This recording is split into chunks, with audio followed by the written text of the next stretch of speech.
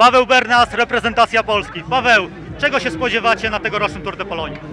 E, Na pewno ciężki wyścig, e, bardzo dobrze obsadzony, chyba najlepiej w ostatnich latach. Mamy tutaj naprawdę wielkie gwiazdy światowego kolarstwa. E, Na szczęście mamy też w tym gronie Polaków, jest Rafał Majka, e, Marek Rutkiewicz świetnie przygotowany, Michał Gołaś, Łukasz Wiśniowski.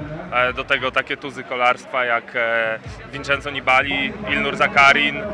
No to są zawodnicy, których nie, nie, nie da się przeoczyć na, na światowym, że tak powiem, podwórku, na naj, największych światowych wyścigach, więc na pewno cieszy ich obecność tutaj i cieszy to, że możemy się, możemy się sprawdzić w wyścigu z nimi. A czego możemy się spodziewać po reprezentacji Polski? E, Walki o koszulki, e, koszulka najlepszego górala, koszulka najaktywniejszego zawodnika, e, na pewno walki o pierwszą, mam nadzieję, piątkę, może trójkę w klasyfikacji generalnej.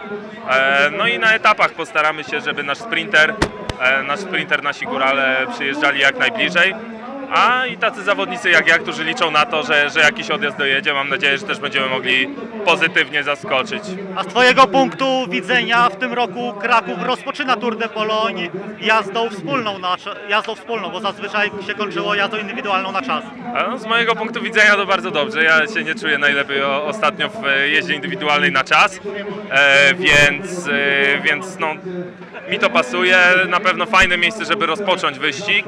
E, dużo ludzi, bardzo, bardzo medialne miasto i, i, i fajne miejsce, więc e, no, super, super, że Kraków cały czas jest Tour de Pologne. Czy, czy tu zaczynamy, czy kończymy, e, zawsze doceniamy atmosferę.